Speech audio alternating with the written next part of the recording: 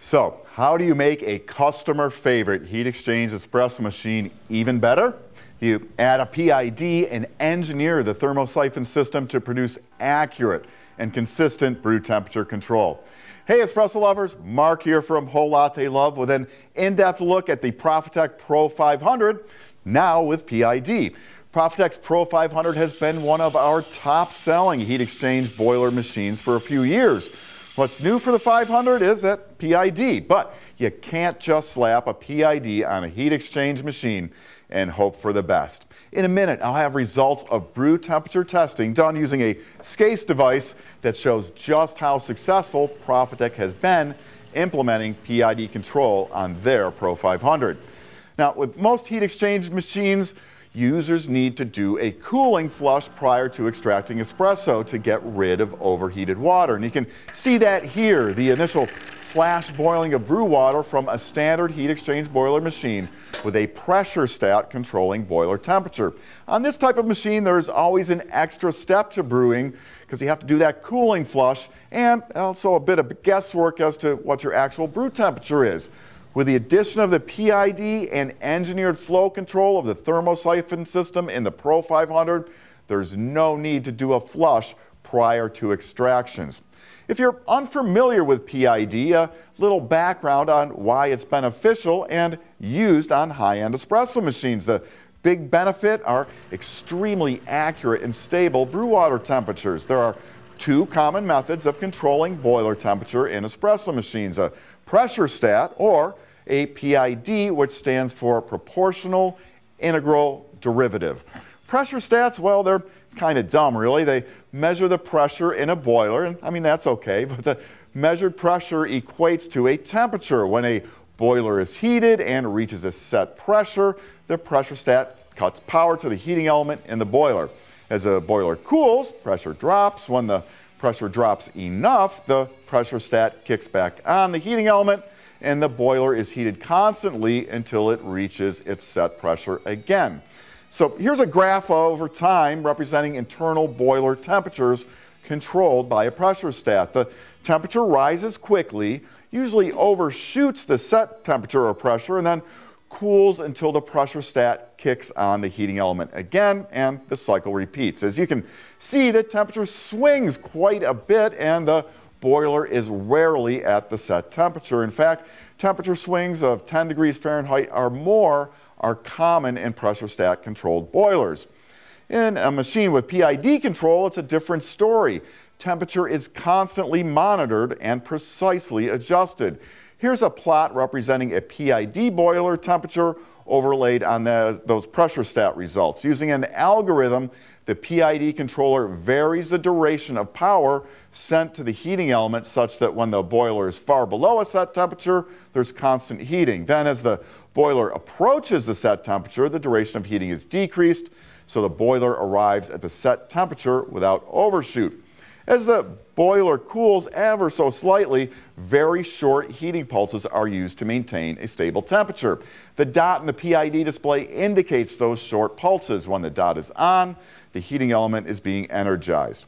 In heat exchange machines, the boiler is typically running about 50 degrees hotter than the desired brew temperature so the machine can produce steam, and that happens on the 500 as well. What this machine gets right is that PID along with the engineering of the E61's thermosiphon system. By controlling convective flow through the brew group, the Pro 500 produces incredibly consistent brew temps at the group.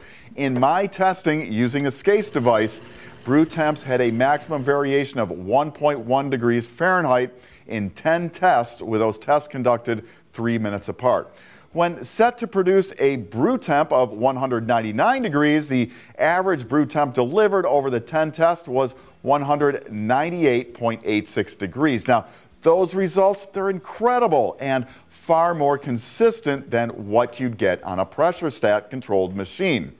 Aside from the PID, the Pro 500 still has all the stuff that's made it a top seller, Let's start with a frame. It's one solid piece from front to back. Now, that's invisible to most, but a big deal. Many manufacturers simply weld on drip tray supports. The solid frame on the Pro 500 makes for a more rugged machine with less chance of shipping damage. Under the hood, we like the quality of the components and design. The 1400 watt stainless steel boiler is horizontally mounted and wrapped in a high quality insulating jacket. And there's easy access to the boiler's heating element, which can slide out of the side of the boiler.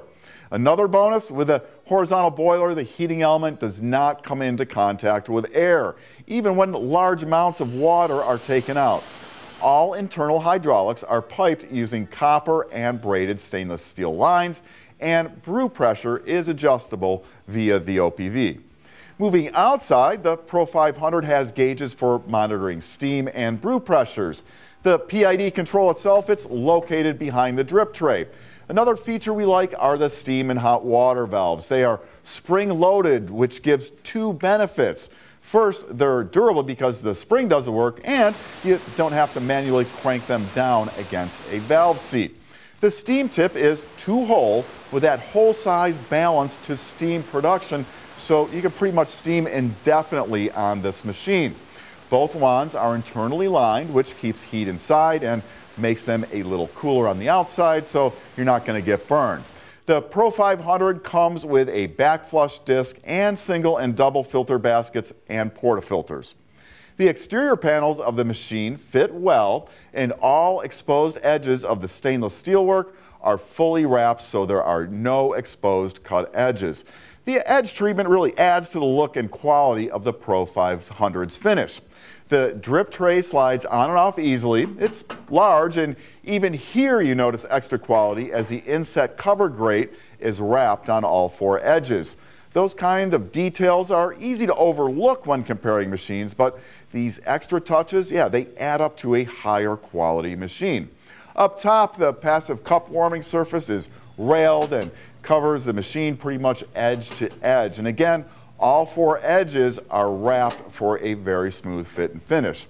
Overall, the addition of PID control to the Pro 500 makes a user favorite machine even better. You're going to get consistent, rock solid brew temps without cooling flushes and the guesswork typically associated with pressure stat controlled heat exchange machines. That's the Profitec Pro 500. Use a link up here to learn more, including detailed specifications.